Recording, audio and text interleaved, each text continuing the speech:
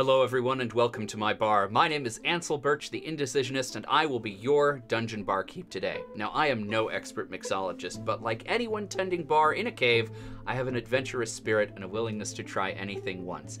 So, what do you say? If you're interested, I, you know, I don't have a menu or a call list or anything, but I do want to make you a cocktail. So, I'll roll some gaming dice, and whatever they tell me, I will put together. And I'll taste it first before I ever recommend it to you. What do you say? Sound fair? Great. So let's go ahead and get started with that. Uh, I've got this set of gaming dice here.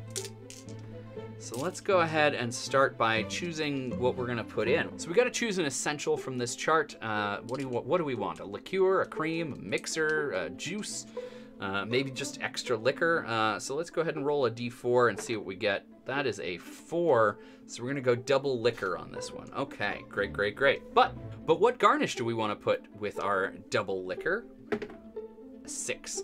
Bitters. All right, liquor and bitters. This is gonna be a classic old fashioned. I'm excited. This should be great. Uh, so we're gonna go ahead and move on to the liquors chart. That's decided by a D10. That's a three. Whiskey. Oh, we really are just making an old fashioned, aren't we? Okay, I'm not mad about that. And uh, just to prove that I do have a chance of making a decent cocktail here, let's let's give me a brief pop quiz here on the bar terms chart. That's an 11 for neat. Uh, serving something neat is, um, uh, you know, when you just put the liquor in a glass and call it a day. Uh, we're not going to do that today because we are going to be uh, adding a couple things to our cocktail, but that is what neat means. And we did have a second liquor, so let's go back to the liquor chart and roll this again. So we've got whiskey and bitters, and we're going to add absinthe. Okay, so this will be an improved old fashioned by most standards. Uh, whenever you put absinthe into a cocktail, my understanding is that you can usually call that an improved X cocktail. So we're going to do whiskey, absinthe, bitters, and that's it. So it is close to being a neat cocktail. Uh, yeah, so what are we going to call that? So we have here a list of names that were suggested by folks online, folks just like you. Uh, and you too can add names to this list by heading over to indecisionist.com slash dungeonbarkeep, where there is a form linked for you to submit names to be uh, included on the list. So uh, here we have a selection, and let's roll a d20 to see what we're going to pick from it. 18, the Dread Pirate Roberts. Interesting. Okay, an improved old fashioned called the Dread Pirate Roberts. I can get behind that. That feels um, feels appropriate to the character. So all that's left is to go ahead and put this together. So let's head on over to the bar top cam and do just that. There we go. We're gonna need some d6s of cold damage. I'm gonna go ahead and do a nice heavy dose of our bitters. So we're gonna call that like, I don't know, probably a bar spoon worth of bitters. Next up, I am going to head and using some Johnnie Walker Red as our whiskey. This is technically a Scotch whiskey. And I say technically, it says it right on the label. This is a Scotch whiskey. But I think it's going to have enough character to uh, really stand out against the absinthe, as well as being a little bit more in keeping with the Dread Pirate Roberts concept.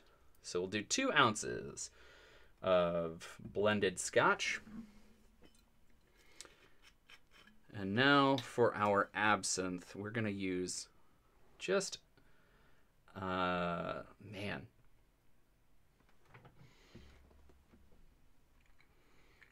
Yeah, I don't want to completely overwhelm all of this. So we're going to go ahead and do a bar spoon of absinthe as well just so as not to completely overwhelm the cocktail.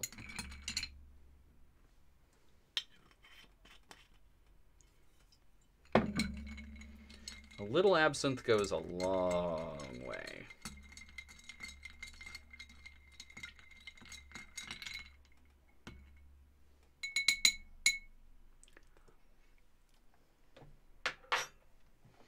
And that's it the Dread Pirate Roberts. But how does it taste?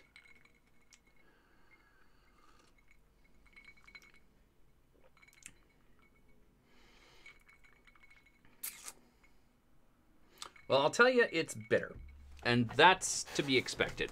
Because what we've done here is we've made an old fashioned, but we've left out the sugar. Usually, an old fashioned wants uh, wants some simple syrup, and I think that that's really going to make a big difference here. So I'm going to go ahead and make an executive decision and add a couple bar spoons of simple just to offset some of that absinthe whiskey bitterness.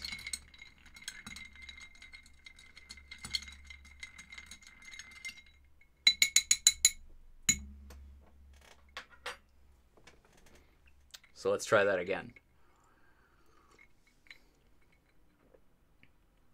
Okay. Now we've got something. The whiskey is bringing a strong flavor to the, or the scotch, I should say, is bringing a strong flavor to the party.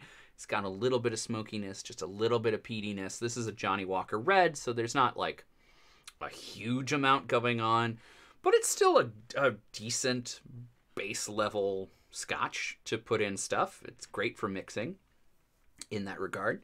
Um, the bitters are definitely bringing their all to the party. Um, the the amount of bitters that I put in there, again, about a bar spoonful, um, really has helped them to punch through and create a space for themselves.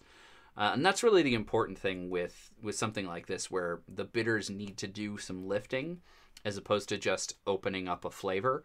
Um, if you want the bitters to be present like that, you really do have to use more than you would usually be um, inclined to do. And in this case, I think it's made a huge difference.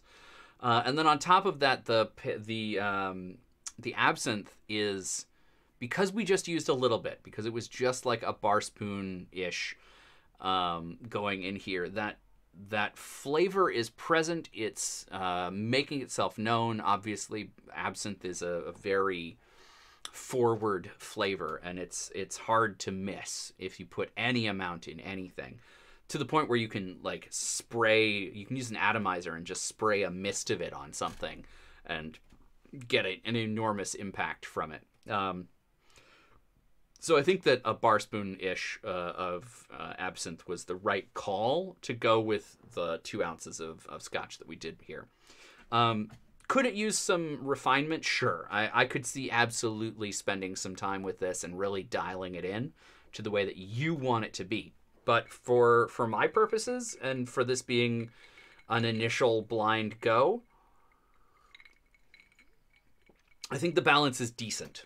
Um, you know, you could go a hair one way or another and still still be in, in the same ballpark.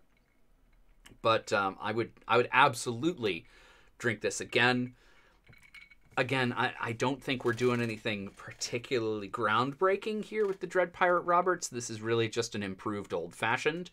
Um, but I think generally with an improved old fashioned, the technique is a little different. And the main thing is you're gonna you're gonna uh, rinse the glass with absinthe, which means you're gonna put like just a sploosh of absinthe in the bottom of the glass, swirl it around, dump out the excess into your face if you're me and uh, and then you're going to build your old fashioned in that glass. So it's such a tiny amount of absinthe that it allows the whiskey to really take more presence. By using a scotch, though, we've kind of overcome that need. Um, so I think that a, a Scotch old fashioned with with uh, the amount of absinthe that I went with is is worth trying if you're into that sort of thing. If you like a spirit forward um, aggressively flavorful um, anise hit in your cocktail, this is definitely worth uh, giving a shot. So now the question is so where does this belong in an adventure?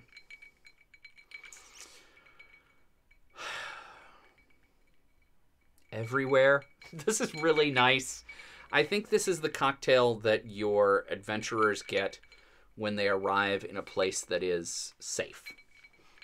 Uh, and so I would like to put this into a like a halfling village where um, you know you want to communicate to the heroes that they've arrived in a place where the locals are relatively safe. There's not like a huge danger Um, they're in a maybe in a waypoint along the route of their adventure. Uh, this isn't where the main bad guy is, or maybe you want to lull them into a false sense of security. Um, this is the sort of thing that you're going to drink with the local mayor, who's going to give you information for your next leg of the voyage. Um, someone who has their um, who has their stuff together and is able to give your heroes reliable, useful information that they're going to be able to take to the bank. The sort of th- this is an adventure moment that they should take notes on because you're going to drop important names. That's what this cocktail is for. It's for giving them the the hint that you know whatever is happening here is is you can take it to the bank. It's relevant to the plot. Write down those names make a note of the locations that they're talking about. Um, if they drop a hint that somebody is is maybe not on the level, you can you can write that down. Put that in your notes. Make sure that you check in on that person because chances are pretty good the person who told you, the mayor or whatever, uh, knows their stuff. Um, so yeah, that is that is where I would put this in an adventure. Um, again, it's an improved old fashioned, so you can go get this at a bar right now. You could go ask for an improved old fashioned. Uh, the bartender should know what you mean. Um, certainly, if you explain it, you'll be able to get it. But um, uh, and maybe you can make it at home. So if you do taste it, let me know how you like it. And regardless, where would you put it in your adventures? What where does this belong in your campaign? Do you have a like fun wizard who in, entertains adventurers in their sitting room? Do you have a, a like a an interesting interdimensional demon who welcomes them into uh, into a, a extra dimensional comfy lounge where they uh, enjoy cocktails and talk about things from beyond the mortal pale? Tell me about it. I would love to hear about your adventure location and who are the like reliable adventure or who are the reliable information uh, sources that are uh, in your adventure. I think that there's a lot of uh, a lot of importance on those characters, and we maybe don't appreciate them enough as as DMs because we we really want to lean in on the characters who, you know, are you know a bigger threat or more dangerous or you know you have to spend three hours trying to defeat. Um, those are you know those are characters that get a lot of play but these these side characters the patricians and mayors and what have you um, they're important and I, I i think that this is a good drink to feature those characters but all that being said it's really up to you friends at home what did you think uh, do you want to use this like comment subscribe tell me what you're thinking uh, and support the channel. All of those things are really important, and that's why YouTubers like me keep talking about it. So, push all the buttons, and until next time, drink adventurously, friends.